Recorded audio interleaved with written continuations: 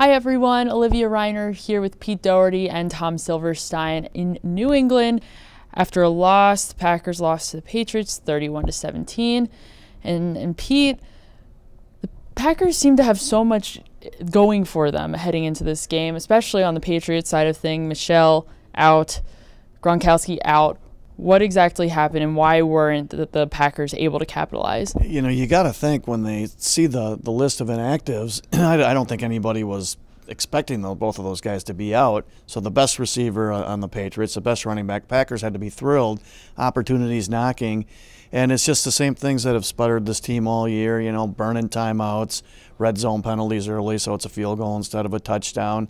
Um, you know, a two minute, running two minute, and Aaron Rodgers keeps the ball rather than handing it off, ends up getting dropped for a loss on a third down, so they end up having to punt instead and get a three or seven.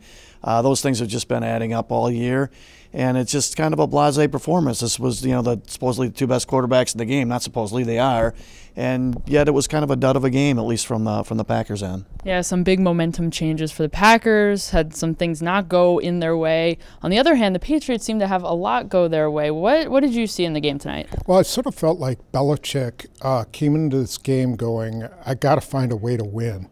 You know, my uh, we're, we're, on a four-day week. We've got, um, you know, we played on a Monday night. We've got our top running back, our right guard is hurt, our tight end is hurt.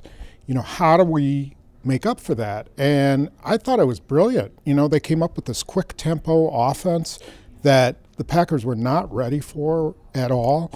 Um, and then on defense, they came up with this pressure package, double team Davante Adams. They they treated it like it was a must win, and I thought the Packers treated it like it was any other game. Yeah, well, it's it's uh, back to Green Bay for them, and they'll be facing off against Miami this upcoming week.